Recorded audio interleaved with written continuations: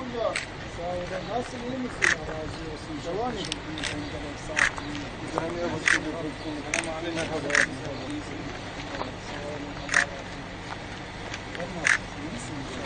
Anne teyzemle ziyarete geldik. Seni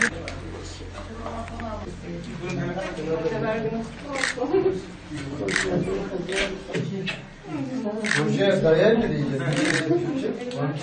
Gününe. Sağ olun. Allah razı olsun. Roji dayan Roji. Hani teyzeciğim, Allah razı olsun.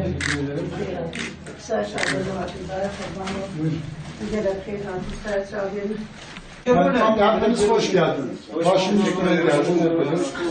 Çocuk durmaz diye. Otur buraya gel. Geçen gün düşmüş.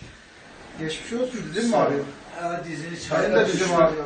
Bizim yere çarptı. Geçmiş olsun. İki gündür evdeyim. Burada selamet evi de. İşler Geçin ablayım ben. Şifa versin.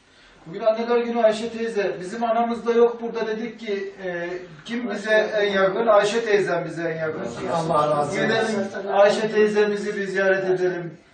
Buradaki anamız sensin. Anneler günün kutlu olsun. Sağ olun. Allah razı olsun. Rabbim hayırlı, sağlıklı, uzun ömürler versin. Bizler de senin evlatlarınız. Bak bunlar da senin torunların sayılır. İkisi de benim torunum. Diğeri de Eyvallah. kızım. Allah razı olsun. Kılıçlara dedik. Nasıl? Ramazanlar nasıl? Tutabiliyor musun? Yok biz ayakları uzun. Hadi Abiz amca. Allah'a Hadi. Allah'a emanet ol. Görüşürüz gel sağ ol. Gel gel gel. Ol. İyi olmuş. Teşekkür ederim.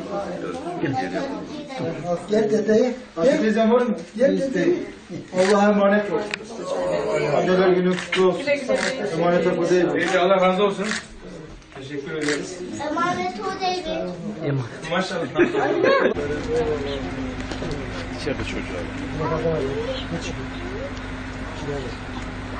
Anneler günü nedeniyle e, Beytü Şebap'ta e, şehit annemiz olan Ayşe teyzemizi e, ziyaret etmek istedik. Bizim biz burada görev yaptığımız için annelerimiz yanımızda değil ama biz Ayşe teyzemizi kendi annemiz bildik. Onun gel Ayşe teyzem yanıma. E, onun anneler gününü kutluyoruz. Tüm şehit annelerimiz başta olmak üzere tüm annelerimize, anne adaylarımıza, anne olamamış ama annelik duygusunu hep yüreğinde hisseden tüm kadınlarımızın, tüm annelerimizin anneler gününü kutluyoruz. Teşekkür ederiz. Çok sağ olun. Oldu Ayşe teyzem. Allah'a emanet. Görüşürüz inşallah.